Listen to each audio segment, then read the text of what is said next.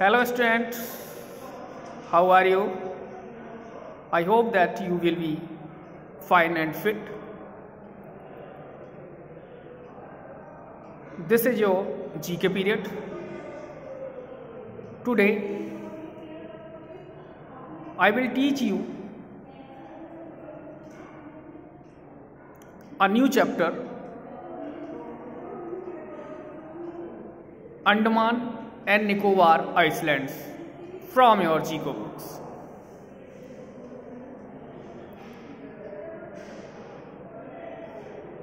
First of all, I delivered to all a message that whatever taught by me during the online classes,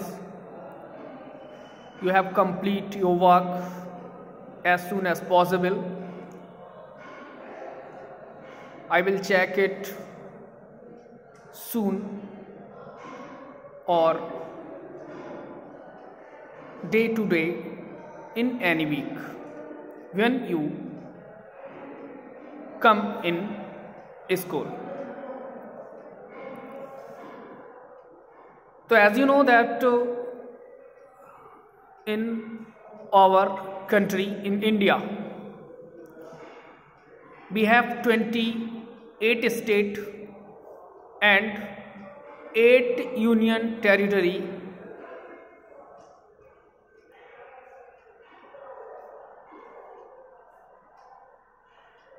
in which a an Andaman and Nicobar island this is your chapter name उसमें से एक है Andaman and Nicobar union territory Andaman Nicobar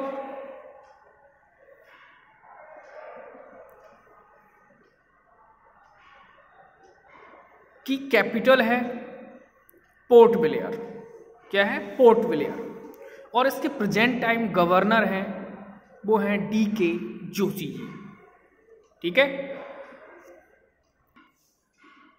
The administration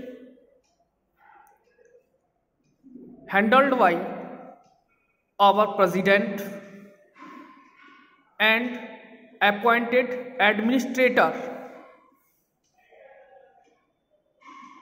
by him or her. जो Indian territory का जो administration है, वो हमारे प्रेसिडेंट के अंडर में होता है और उनके द्वारा अपॉइंटेड जो एडमिनिस्ट्रेटर होते हैं वो उसको चलाते हैं। वो इसके स्टेट के चीफ होते हैं। जैसे ओवर स्टेट है UP Uttar Pradesh the capital is Lucknow and the present chief minister is honourable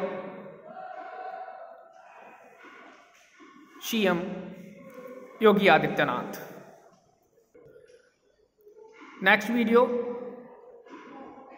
we will discuss about your chapter Andaman and Nicobar Islands. Okay.